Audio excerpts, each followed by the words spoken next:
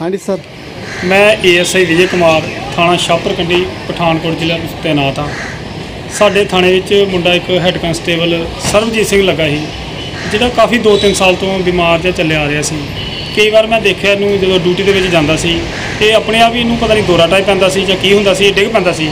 ਦੋ ਵਾਰ ਇਹ PCR motorcycle ਤੋਂ ਵੀ ਡਿੱਗਿਆ ਸੀ, ਇਹਦੇ ਲੱਤ ਫ੍ਰੈਕਚਰ ਹੋ ਗਈ ਸੀ। ਤੇ ਹੁਣ ਵੀ ਕਾਫੀ ਦਿਨਾਂ ਤੋਂ ਜਿਹੜਾ ਬਿਮਾਰ ਸੀ, ਇਹ 17 ਤਰੀਕ ਨੂੰ ਅਫਸਰਾਂ ਵਾਲਾ ਤੋਂ 5 ਦਿਨ ਦੀ ਛੁੱਟੀ ਲੈ ਕੇ ਗਿਆ ਸੀ। ਤੇ ਰਾਤ ਕੀ ਹੋਇਆ ਵੀ ਰਾਤ ਇਹ ਬਿਮਾਰ ਹੋ ਗਿਆ। ਘਰ ਦੇ ਇਹਦੀ ਸਿਸ ਆਪਣੇ ਵਾਈਫ ਨੇ ਦੱਸਿਆ ਕਿ ਬਿਮਾਰ ਹੋਣ ਤੋਂ ਬਾਅਦ ਇਹ ਦਵਾਈ ਲੈਣ ਲਈ ਮਾਧੋਪੁਰ ਕਿਤੇ ਪ੍ਰਾਈਵੇਟ ਗਿਆ ਹੋਣਾ, ਕਿਤੇ ਦੇਸੀ ਦਵਾਈ ਵਾਸਤੇ।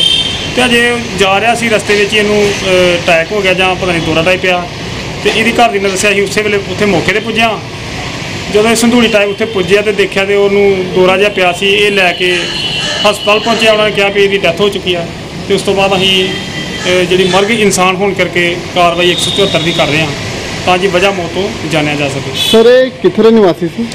ਨਿਵਾਸੀ ਪਿੰਡ ਇਹਨਾਂ ਦਾ ਵੈਸੇ ਬੇਸਿਕਲੀ ਪਿੰਡ ਬੜਿਆ 'ਚ ਹੈਗਾ ਥਾਣਾ ਕਾਹਨੂੰਵਾਨ ਚ ਪੈਂਦਾ ਜੀ ਪਿੰਡ। ਤੇ ਇੱਥੇ ਦੀ ਛਾਪਰਕੰਡੀ ਨੌਕਰੀ ਇਹਨੇ ਉੱਥੇ ਜੁਗਿਆਲ ਕਲੋਨੀ T2 ਚ ਕੁਆਟਰ ਲਿਆ ਸਰਕਾਰੀ ਕਿਰਾਏ ਤੇ। ਹਾਂਜੀ ਪ੍ਰਧਾਨ ਜੀ। ਮੈਂ ਜੀ ਰਵਿੰਦਰ ਸਿੰਘ ਜੱਗਾ ਪ੍ਰਧਾਨ ਪੰਜਾਬ ਰਾਜ ਮਲਾਇਨ ਦਲ ਜੂਨ ਸਾਹਿਬ ਡੈਮ ਸ਼ਾਪਰਗੜੀ ਟਾਊਨਸ਼ਿਪ ਰਾਤੀ ਇੱਥੇ ਸਾਨੂੰ ਪਤਾ ਲੱਗਾ ਸੀ ਵੀ ਕਿ ਸਾਡੇ ਸਟੇਸ਼ਨ ਸ਼ਾਪਰਕੰਡੀ ਦੇ ਵਿੱਚ ਸਰਬਜੀਤ ਸਿੰਘ ਇੱਕ ਹੈਡ ਕੰਸਟੇਬਲ ਹੈ ਤੇ ਉਹ ਜੋ ਕਿ ਪਿੱਛੇ ਲੰਮੇ ਸਮੇਂ ਤੋਂ ਬਿਮਾਰ ਚੱਲਦਾ ਰਿਹਾ ਸੀ ਕੱਲ ਵੀ ਉਹ ਕਾਫੀ ਖਰਾਬ ਦੀ ਤਬੀਅਤ ਖਰਾਬ ਸੀ। ਤੇ ਉਹ ਦਵਾਈ ਲੈਣ ਜਾਣ ਰਿਹਾ ਸੀ, ਜਿੱਥੋਂ ਦੇਸੀ ਦਵਾਈ ਕਿਤੇ ਲੈਂਦਾ ਸੀ ਤੇ ਪਹੁੰਚ ਨਹੀਂ ਸਕਿਆ। ਰਸਤੇ ਵਿੱਚ ਬਿਮਾਰ ਹੋ ਗਿਆ ਤੇ ਉਹਨੂੰ ਚੁੱਕ ਕੇ ਹਸਪਤਾਲ, ਜੀਸਾ ਡੈਮ ਜਾਂਦਾ ਉਸ